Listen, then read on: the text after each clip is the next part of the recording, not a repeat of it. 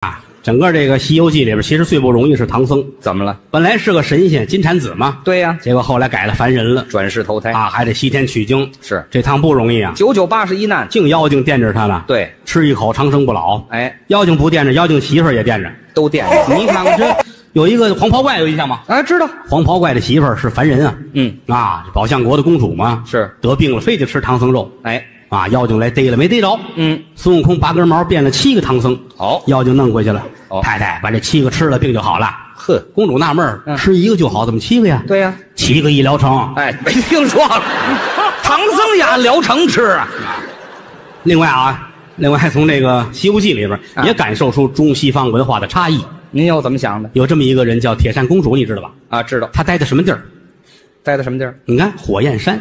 对呀、火焰山哪儿来的？嗯孙悟空出八卦炉的时候，八卦炉底下掉一块砖来，耐火砖。这块砖烧得通红，掉到地上，成为了火焰山。对了，老百姓民不聊生，得去求这公主。嗯铁扇公主吐出一芭蕉叶儿嗯扇几下，三年就不着火了。没火了。种菜种粮食能活命，嗯得给钱，得给上供。是啊，你想这个砖是太上老君的八卦炉底下出来的，对芭蕉叶这扇子是太上老君撅起来送给铁扇公主的，是他为什么这么安排？您您您接着分析分析。你看看，嗯，你太单纯了。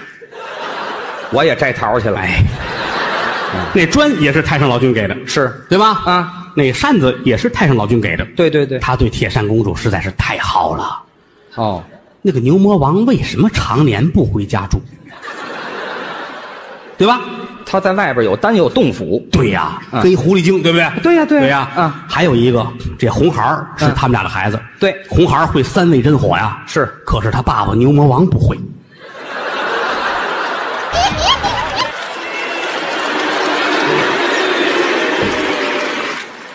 哎嘿。